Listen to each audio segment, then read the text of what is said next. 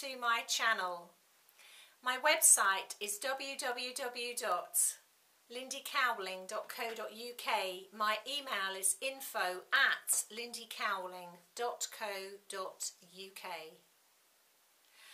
And I very much hope that whichever way you chose either to celebrate or not celebrate the winter holiday season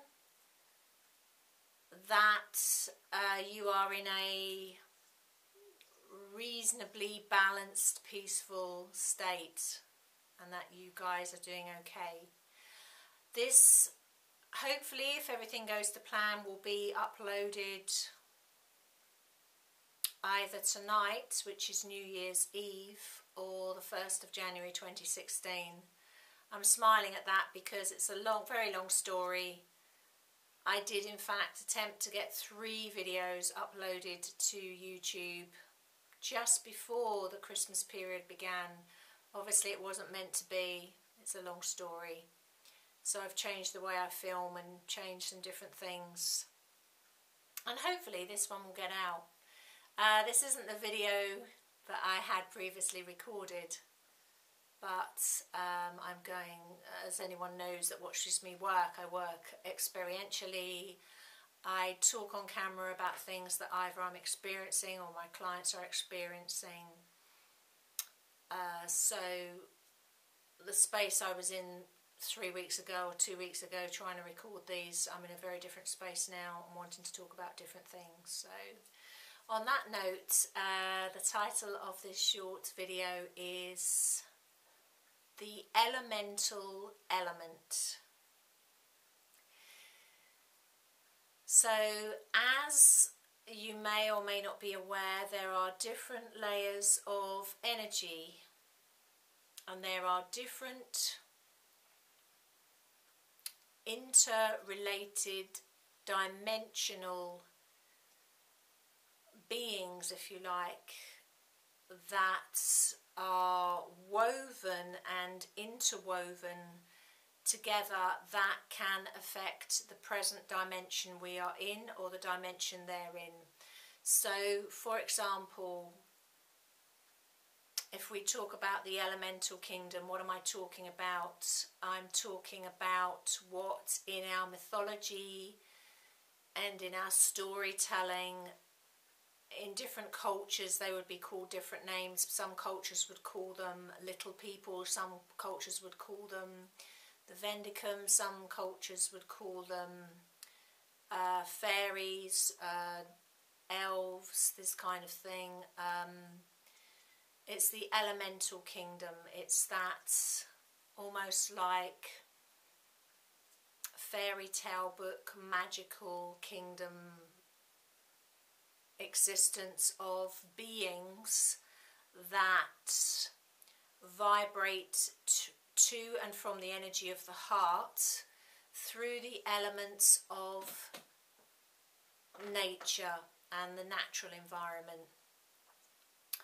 And the elemental energy is particularly strong at uncontaminated by man or or other people environments such as natural forests, natural woodland, natural meadows, natural water sources, natural environments that are uncontaminated. Uncontaminated environmentally, uncontaminated in energy, pollution, you know, all the ways that it can be contaminated. They thrive in in areas and in regions of the world and in pockets of the world where the energy is very conducive to their well-being and they work to enhance that dimensional energy.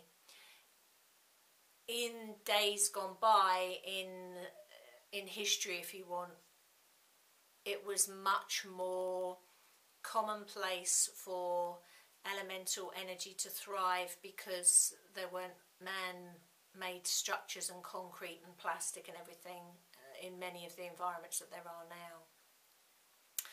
The reason I'm bringing this out, and as anyone who knows when they have watched any of the work that I've done before, the reason I'm talking about this now is, is the elemental energy is all about the heart.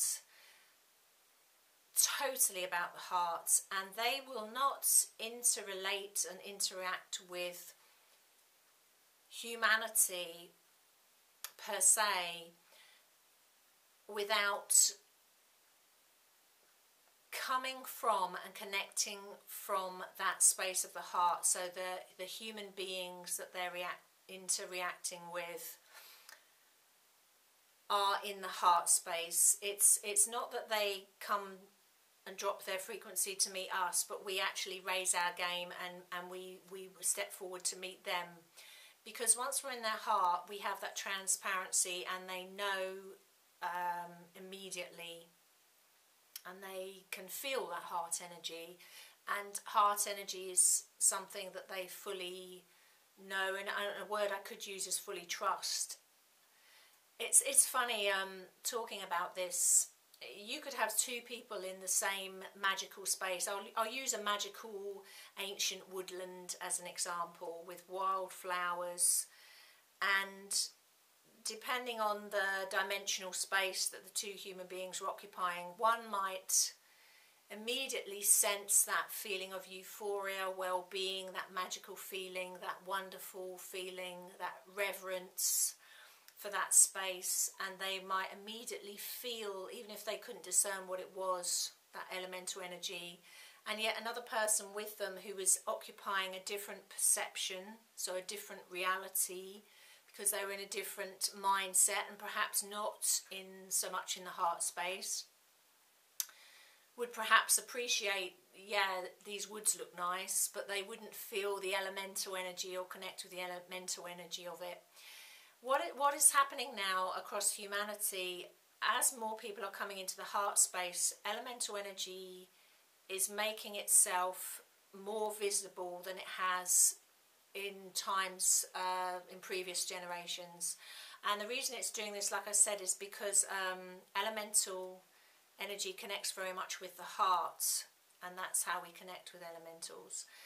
Uh, and so when more people are coming into the heart, they are naturally capturing this energy more on camera or they are sensing it more. And certainly for me, I don't I mean, I'm finding it absolutely delightful in a way because I'm not having to make an effort to capture multi, you know, multicolored orbs on camera or often elemental pr pr produce uh, wonderful magical coloured orbs. Often they appear that way, uh, as well as other ways. Sometimes they can appear much more clearly than that. Actually, in the wood or the bark of a tree, you will see almost like a, well, I was going to say a wizened face, but that's partially true, and some appear like that, but some don't appear like that at all, actually, surprisingly. Some actually almost have a sort of star being look about them. So there's a there's a mixture of the ways that they seem to present themselves. Some are like transparent, some are like wizened, very long features, so there are vague humanoid similarities, but um, sometimes it's quite funny, you know, they can appear um, almost like, or if you capture them on camera, quite quite surprising, almost like um, creature-like, animal-like, cat-like, uh, in, a, in a variety of ways. I truly feel it's because we're there's a multiple interrelating of dimensions going on and there's an interplay between elemental energy, there's an interplay uh, between other, I want to say intra-dimensional energy, not an expression I've used before, but energy that expresses almost like in between the, the dimensions and there's an overlap, a weaving between all of it. The reason I'm bringing this out, like I say, is because it's becoming more commonplace to interact with this energy, but it's also becoming more commonplace to sense it, but also to capture this energy on camera in a variety of ways. And how you how you do that really it really depends on the space that you're occupying. Like i say you could get two or three people in the same space and you're all going to have a different perception on it. It's the people that are coming from that purity of the heart that love that openness that joyfulness that childlike almost like joy and celebration in elemental energy that are capturing it on camera. And how you do this is just quite, you don't go looking for it even, you just draw naturally to places that are very beautiful and very raw in nature. Trees particularly, as particularly if trees are on energy lines, I might bring another video out on energy lines. There's a lot I've got to say on that and what's happening in the world at the moment and how they have changed and the energy lines have actually moved. Um, they've actually moved uh, across the earth and definitely moved in the United Kingdom and are going to move again. Um, you know, so you can capture by the ocean, by running streams, rivers, woods, uh, natural environments, meadows, mountains, as natural as, as an environment as possible, you know, around the rocks, uncontaminated in all senses of the word and like I say they, they appear in a variety of ways and there isn't really I can tell you, you know, that I, I have captured on camera recently and this has been a very very recent thing for me. I've loved elemental energy as long as I can remember but truly truly there's been a stepping forward I think of myself and them towards myself in really in the last six months of last year. And I'm very, very drawn creatively uh, to photography at the moment and to to film hugely to film and photography. And they are very I don't ask for them to come forward. They seem to be very ready to come forward and and show themselves. And I think that that is a the trust between the the person for example myself and and and them but also because they are willing at that time to do this. And you could say, are they stepping forward to help humanity? Yes, there is an element of that, literally, um, excuse the pun. But also, eh, it's because they're also helping themselves because they're not, we are, we are so arrogant as a species to think that everything centres around us as humanity and everyone's here to save humanity. Uh, this planet will go on long after we're gone. You know, whether we messed it up or didn't mess it up, they would. This planet will go on without us. We're like um, ants compared to the planet, uh, the living being of this this Earth, for example. And the elemental energy is totally linked with the heart of this planet. And so they are looking to their own well-being because, of course, what happens in one dimension and the interplay in, in between dimensions affects all dimensions. So for example, damage we were doing in pollution or with energy, misuse of energy, doing away with natural environments, the rainforests, the woodland, the meadows, you know, polluting the oceans is going to have a massive effect on the elemental kingdom. And once you knock one element, again, excuse the pun, out of balance, you're knocking the whole you're knocking the whole lot out of balance because if you think of the human vessel as a whole, if you think of the earth as a as a vessel and the elemental kingdom being like the blood that runs through that vessel, for example, that would be an easy way of explaining it. And you've got you've got an imbalance in the blood or contamination in the blood. It's going to affect the whole system, the whole body. And if you think of us as maybe like like the bacteria. That's a funny way of explaining it, but bacteria within the human vessel as a whole, for example.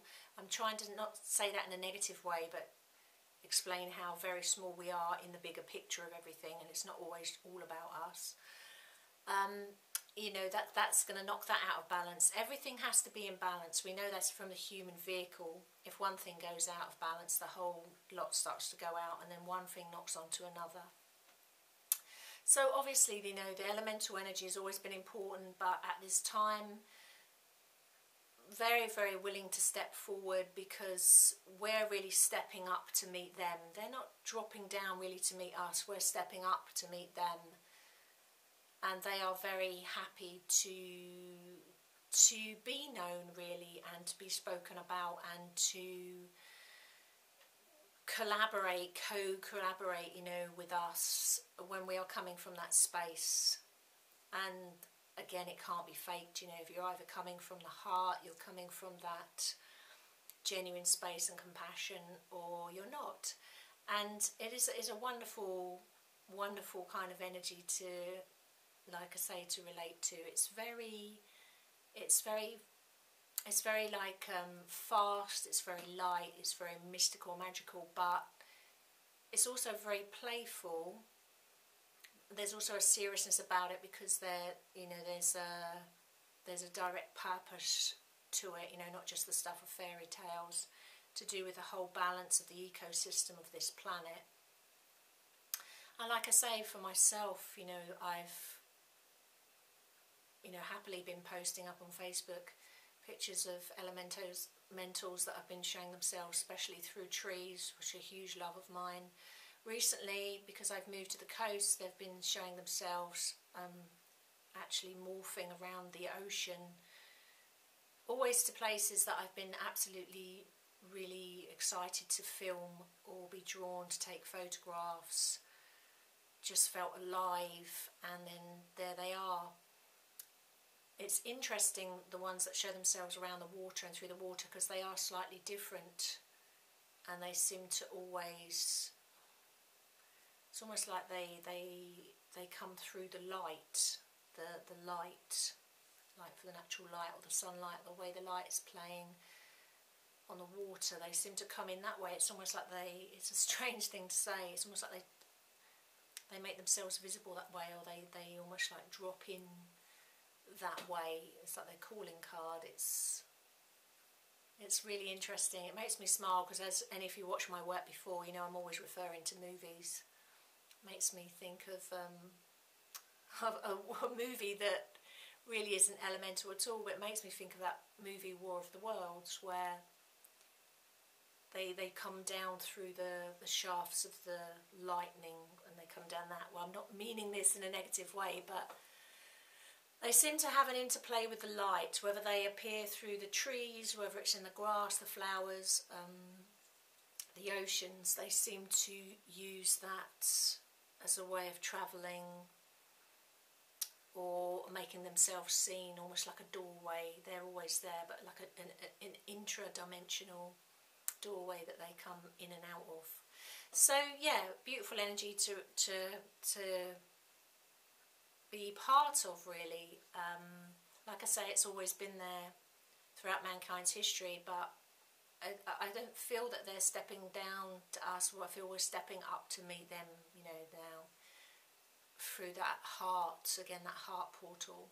So it's, um, you know, if you was to say to me, are you, it's not, I've, a couple of times I've said on video here, it's not just all about us the main reason really I feel that they are stepping forward because they know that we're going to be more aware of them anyway from the heart. If you was to ask me if they were trying to get a message out, then it's to do with the ecosystem of this planet at this time. And we must take responsibility for our own, well, you know, sounds quite blunt, but our own shit really, and what we're doing to this planet and what we're doing to each other, certain factions of the planet, and we must look to cleaning up our act actually in that sense because like I said I referred to Earth, Gaia, the elemental energy, all of us as all part of that ecosystem. If one goes down, the lot goes down. It reminds me of another movie, Avatar, you know, Sea of Souls, everything's connected and once you take out the heart's junk of something, has a, a huge impact mankind, humanity as a whole, may have stepped the right way into the heart, but there's it's leaving a lot of um, imbalance in its wake, and that has to be readdressed. And when I mentioned earlier about the energy lines starting to move, um, the ley lines, the energy lines starting to move, they move to the left. They're going to move again because if you think of Gaia like a big old Labrador dog, you know, about to shake and line things up and realign things and rebalance things. you know, many of the what we consider our ancient sites or where we we have literature that says ancient lines run through them now, that they're going to shift, it's all going to shift left. So those lines won't run through the same places.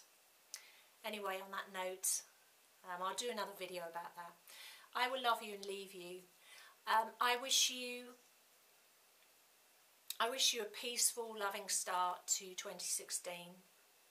Very, very different year we're entering into in very, very different spaces to what we have been in 2015. So I, I wish you strength, courage, love, wisdom and just be who you truly are, stay in your heart and enjoy the ride. And on that note, I will love you and leave you. Thank you so much for watching. Thank you for listening. And I'll see you during 2016. Thank you. Bye bye.